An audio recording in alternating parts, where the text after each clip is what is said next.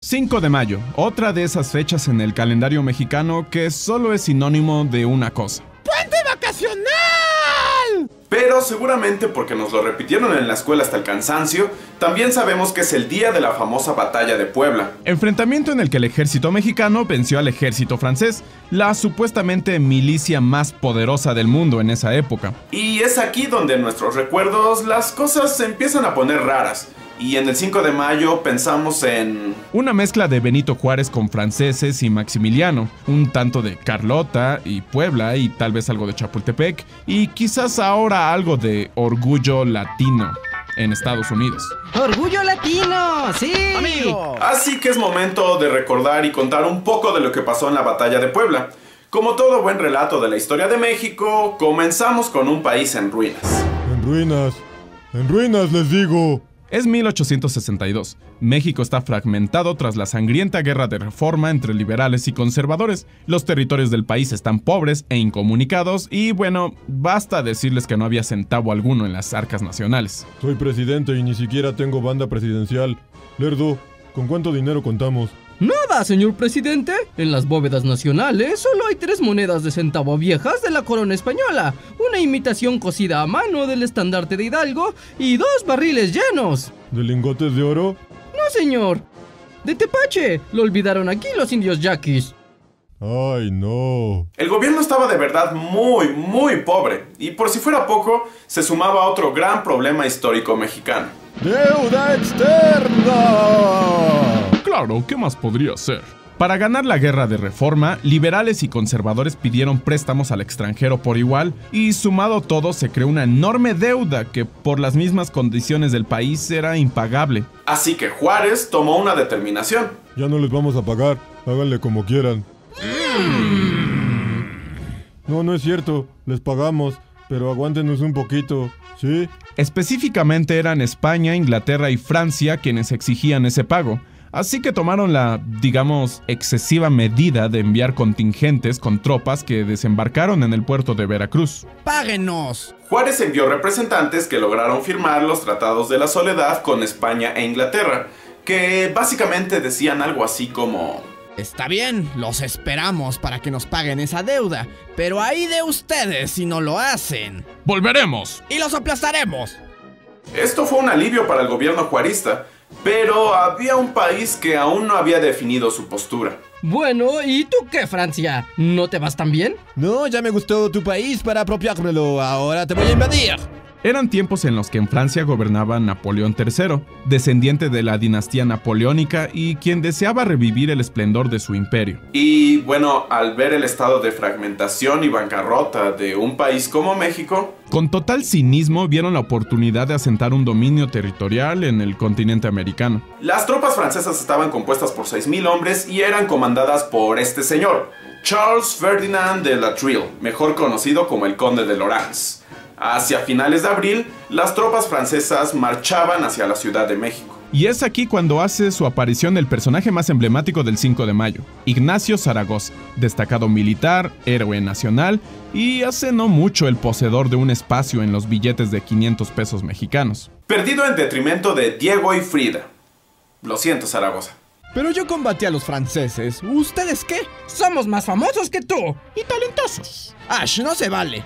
Acéptalo, Ignacio. Nunca alcanzarás su fama y popularidad. Vente, vámonos. Lo dices solamente porque tú sí tienes tu propio billete. Así es la ruleta de la vida, Ignacio. A veces estás arriba y a veces estás abajo. Y en estos momentos en que estamos abajo, hay que esforzarnos para estar arriba. Sí, sí, sí, sí, ya vámonos. Zaragoza comandó el ejército de Oriente, compuesto por cerca de 5.000 soldados y prácticamente la única resistencia de la República que podía hacer frente a los franceses en su intento de tomar la Ciudad de México. Los ejércitos se enfrentaron primero en la batalla de Acutzingo, en los límites entre Veracruz y Puebla. El saldo, bueno, fue una paliza para las tropas de Zaragoza. ¡Repliéguense! ¡Huya quien pueda! Ninguna sorpresa, el ejército francés era disciplinado y tenía entrenamiento profesional, mientras que el ejército mexicano estaba compuesto en su mayoría por soldados reclutados al instante. ¡Ah! Esta cosa no sirve. Dispara al revés. Mm, solo podemos esperar que ocurra lo mejor. ¡Ay! ¡Ay! ¡No sirve! El ejército de Zaragoza se resguardó en los fuertes de Loreto y Guadalupe de la ciudad de Puebla, donde esperarían a los franceses. Y bueno, aquí es cuando las cosas se complican y pasamos al momento más álgido de la batalla. Así que aprovechando que anda por aquí Zaragoza, dejemos que nos cuente con detalle qué fue lo que pasó. ¿En serio puedo? Sí, claro. Adelante. Oh, es, es un honor. Pues sí, no eran pocos los problemas que teníamos. También tuvimos que hacer frente a Leonardo Márquez, el tigre de Tacubaya, un general conservador que apoyaba la invasión al mando de 2.000 hombres. Ellos marchaban por Atlisco, así que tuve que dividir mis tropas para hacer frente a los dos ejércitos. Fue un movimiento muy osado. Conocía el riesgo de la estrategia, pero afortunadamente logramos contener a los conservadores. A pesar de la inexperiencia de los soldados, debo decir que contaba con muy buenos estrategas y militares de mi lado, como Miguel Negrete o un joven Porfirio Díaz. El problema es que las tropas francesas ahora ya se encontraban en la ciudad de Puebla. Así es, yo esperaba que el conde de Lorance atacaría por la zona baja de la ciudad, pues en el combate directo obviamente eran mejores que nosotros. Sin embargo, los franceses se decidieron ir directo a los fuertes. Estaban muy confiados en su superioridad y querían una victoria rápida. Lo cual seguramente fue un movimiento que les dio a ustedes margen de maniobra. Sí, hicimos un plan de defensa con cañones y avanzadas de artillería. Cuando llegamos al enfrentamiento cuerpo a cuerpo, ya habíamos diezmado a su ejército. Las probabilidades de ganar se podían inclinar a cualquier bando, pero afortunadamente contamos con un refuerzo inesperado. La cargada de los famosos indios de Que de hecho eran más bien de Tetela de Ocampo. Ah, yo podría explicar este punto. No, gordo inmundo, tenemos aquí a Zaragoza para que nos lo cuente. Anda. Ch- ch- La gente siempre dice que fueron de Zacapuaxtla y de hecho en este pueblo tienen monumentos y todo, pero lo cierto es que de este lugar eran poquísimos refuerzos. ¿Por qué se quedaron con el crédito? No sé, quizá el decir indígenas de Zacapuaxtla tenía más punch para la memoria histórica. Lo cierto es que el batallón era principalmente de pobladores de Tetela de Ocampo, así que son quienes merecen el mérito.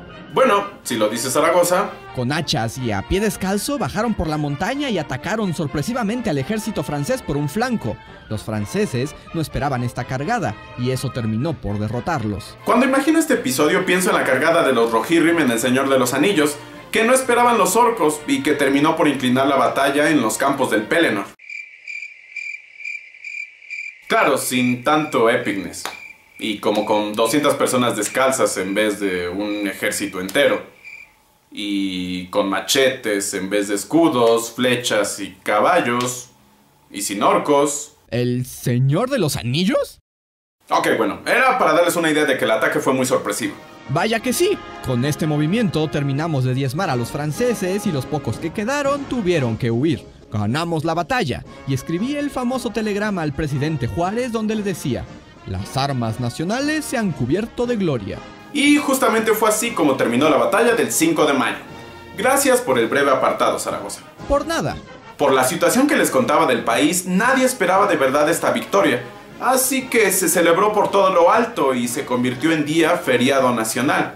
¡Y puente vacacional! Aunque, bueno, spoiler histórico, los franceses volvieron un año después con un ejército de 35.000 soldados.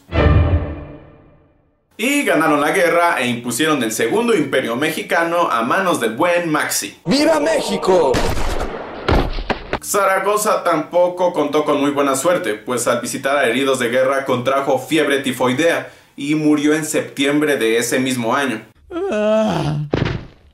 Pero bueno, todo eso es otra historia. Por alguna razón, después en Estados Unidos les gustó la fecha y lo declararon como el Día del Orgullo Mexicano. Muchos de hecho creen que es el Día de la Independencia de México, con piñatas, música latina y fiesta mexicana en la Casa Blanca.